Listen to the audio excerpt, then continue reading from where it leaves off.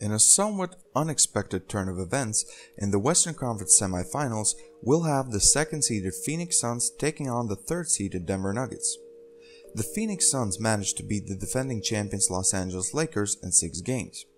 My prediction was that the Lakers would beat the Suns in six games, but the result was the exact opposite. Going into the series, I figured everyone would be healthy and in the end the Lakers would win it, and it all looked that way. After three games, the Lakers were up 2-1 in the series, but then Anthony Davis got injured, LeBron couldn't carry the team and role players who were missing shot after shot, and Devin Booker made sure that the Lakers wouldn't win another game. In the end, Phoenix moves on and the Lakers go home. Devin Booker averaged almost 30 points, 6 rebounds, and 5 assists. DeAndre Ayton shot almost 80% from the field and ended up averaging 15 and 10. Cameron Payne stepped in nicely for Chris Paul while he was struggling with his shoulder, and speaking of Chris Paul, the effect he's had on this team is amazing. Against one of the best defenses this year, Phoenix managed to score 104 points per game, which ranked as the 12th best result out of 16 teams. As a team, they converted on almost 46% of their field goals and 36% of their threes.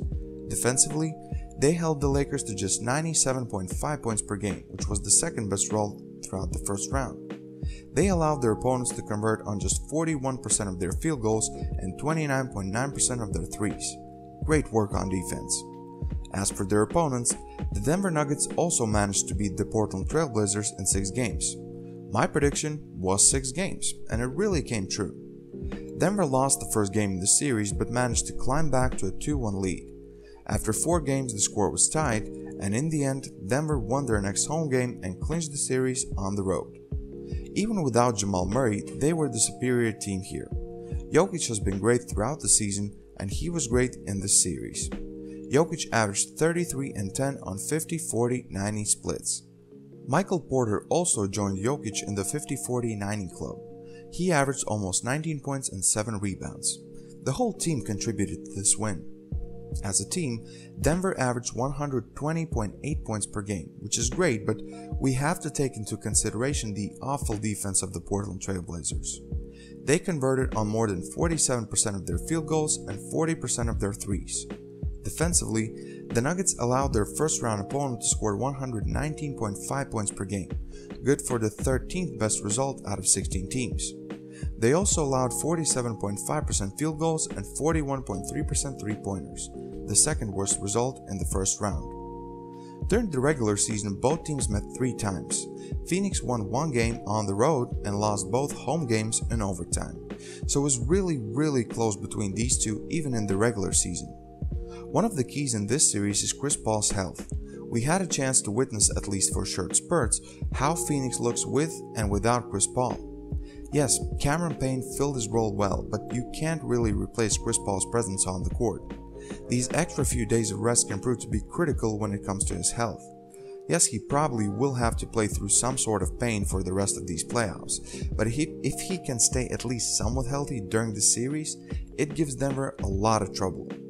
And so does Devin Booker. Facundo Campazzo most likely will guard Chris Paul. That leaves the assignment of guarding one of the best scorers in the NBA in the hands of Austin Rivers. Rivers hasn't always been the best defender, but he's fitting nicely in Denver. He ranked as one of the worst defenders from guards in the first round, but he also had the daunting task of guarding Lillard and McCollum. That's no easy task. Well, and it doesn't get any easier with Booker. So Booker will have his chance to dominate the series. Can Rivers make some key defensive plays in key moments? That could be a very important factor in the series. Phoenix will have to figure out the way to stop Denver's bigs, especially Jokic.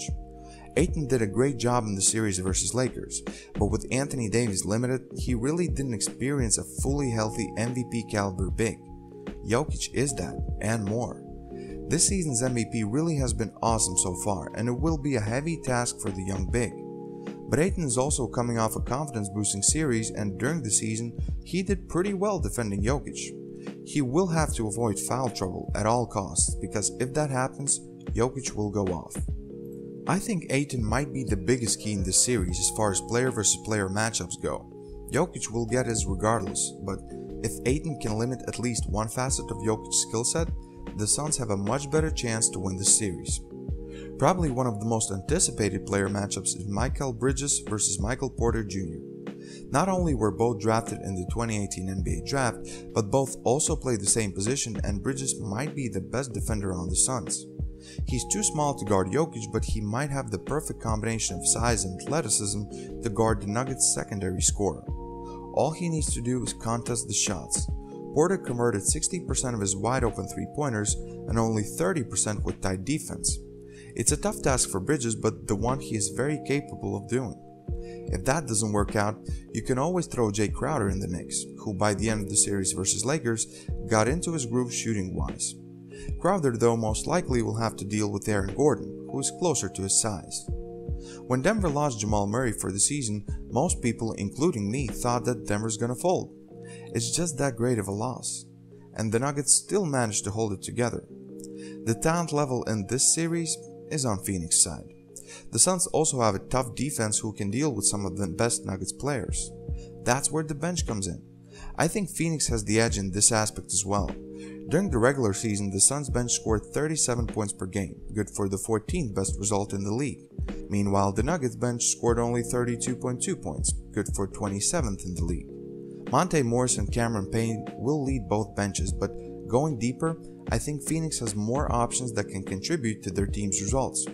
And let's not forget Torrey Craig, who's an ex-Nugget, knows the system, and plays that Denver likes to execute and matches up well with Denver's bigs coming off the bench. Overall, this series should be very fun to watch. Denver has the advantages on their front court while Phoenix could punish them with their superior backcourt and second unit. This will be a great battle, and after the series versus Lakers, I'm a believer. I believe the Suns are a very good team and a better team than Denver, who in this series will feel the effect of not having Jamal Murray. So I believe the Suns will win the series in 6 games, 4-2 and the Suns move on to the Western Conference Finals. What is your prediction for this series guys? Who wins it? Who will be the best player in this series? Please leave your predictions down below.